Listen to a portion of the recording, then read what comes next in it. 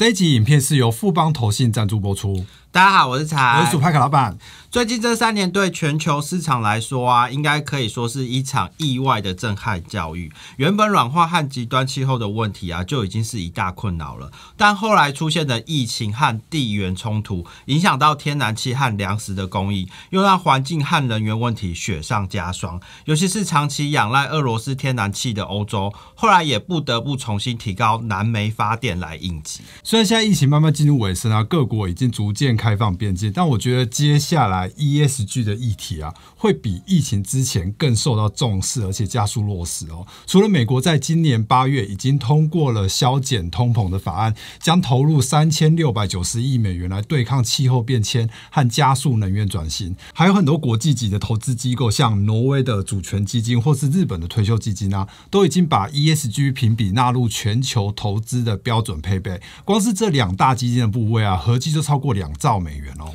我觉得啊，欧洲的动作更快。他们在去年已经通过了全球第一个碳关税计划，也就是从二零二三年开始，碳排和环保标准比较低的国家要卖东西到欧洲啊，都要另外课征碳关税。这会加速全球各种碳税、碳费、碳交易制度的落实，速度还会越来越快。没办法赶上这股潮流，开始落实 ESG 的企业，明年后年开始，欧美新政策陆续上路之后啊，竞争。的压力都会大幅的增加，所以对我们投资人来说啊，现在选择投资商品啊，也要开始纳入 ESG 的概念哦。而根据吉宝结算所基金资讯观测站的资料，目前全台湾符合 ESG 基金标准的 ETF 并不多，只有六档，富邦啊就包含两档哦。其中已经在十月挂牌的零零九二零富邦 ESG 绿色电力，就是目前唯一一档符合 ESG 基金标准的绿色能源 ETF，它追踪的。是由美国 ICE 所编制的全球绿能 ESG 指数，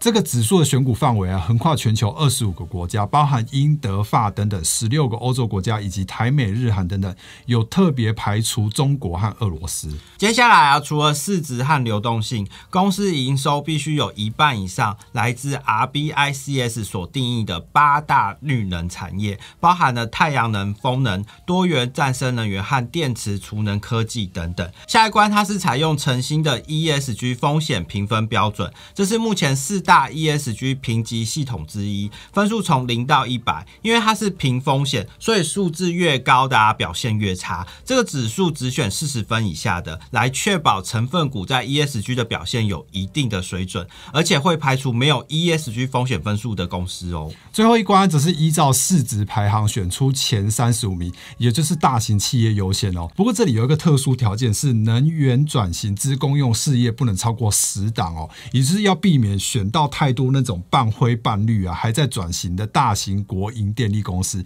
降低行业过度集中的风险。最后最关键的是它的权重分配哦，它不再只是单纯的依照市值大小，而是会在纳入刚刚说的 ESG 风险分数去加权，十分以下表现最好的公司加重百分之四十，十到二十分加重百分之二十，而只拿三四十分算是低空飞过了，则是降低百。百分之二，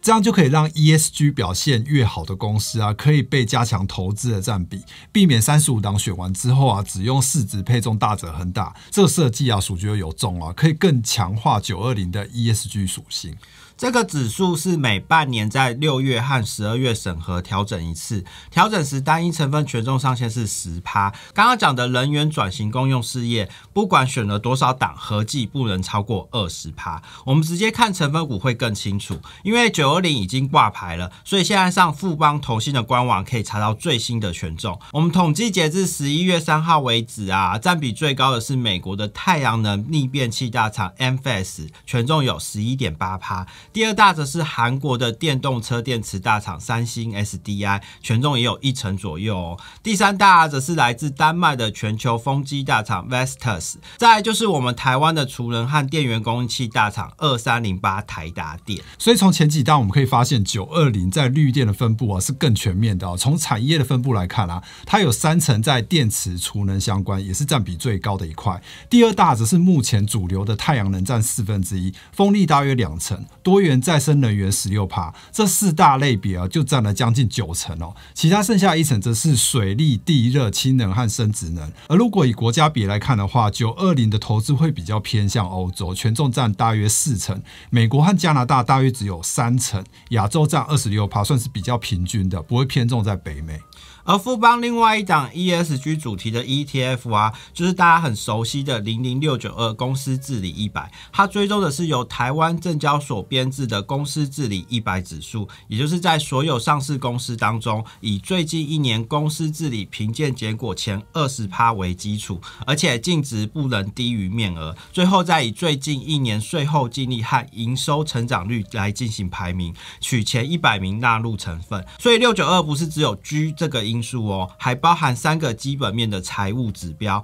每年固定在七月审核调整一次，以市值作为分配权重的标准。因为这个指数是由证交所评鉴和编撰啊，所以可以入选的公司啊，等于是对公司治理成绩的肯定哦。如果我们比对截至十月底证交所公告的台股市值权重和同一天的六九二的权重啊，可以发现排名完全一样。台积电虽然还是最高，但六九二只有大约三十五趴，我觉得相对来讲会更分。上更容易接近全市场的表现了，而且对想要长期追踪台股大盘的投资人来说啊，六九二还有一个超级强项，就是它的费用率。从挂牌以来，完整的四个年度来统计啊，它全部都维持在零点三趴到零点三五趴之间，其中还有三个年度拿下台股 ETF 费用率最低，这对长期投资来说又是一大加分。完整的排行资料下载链接在影片底下的说明里面。最后啊，我们来统整一下这两大 ESG ETF 的重要指标。六九二采用半年配，每七月和十一月出席，日成交量啊也都有两三千张左右。而九二零则是投资全球的绿色电力，包含电池储能公司，所以经理保管费啊没有办法跟纯台股的六九二来比。但以台股全球主题型的商品来说啊，算是正常的行情哦。但讲到这里要提醒啊，绿电和储能啊都正在高成长的阶段，所以相对来。讲啊，它的产业波动度会比较大，而外国成分的 ETF 啊又没有涨跌幅的限制，所以如果想要操作波段的人啊，一定要特别留意哦。这是第一个。第二个啊，因为绿电和灰电有竞争的关系啊，所以我们如果要投资这一类的产业啊，也要特别留意原油和天然气价格变化的影响。最后一点啊，因为这个指数没有规定成分的替换上限啊，所以十二月这次的调整结果啊，一定要特别留意一下哦。但是不论如何啊，ESG 这个长期趋势啊是不会改变的。如果国际级的大型主权基金或是退休基金都已经把 ESG 当做被动投资的标准配备了，那我们 ETF 投资人啊也不可以轻忽这一块的影响哦。目前符合 ESG 标准的 ETF 啊选择并不多，不论是专注在绿色电力和储能的九二零，或是强调公司治理评鉴的六九二，一个是有爆发力的 ESG 主题新秀，欧洲投资比例高于美国，还有三成在电池储能，一个是代表市场标杆。的大盘型商品都是值得注意的标的哦。以上就是这一集关于零零九二零富邦 ESG 绿色电力以及零零六九二富邦公司治理一百的分析。更多详细的介绍可以搜寻代号上富邦投信的官网了解更多。财属 ETF 新同学，我们下次见，拜拜。投资一定有风险，基金投资有赚有赔，申购前应详阅公开说明书。那个老板要讲话了啦，快点！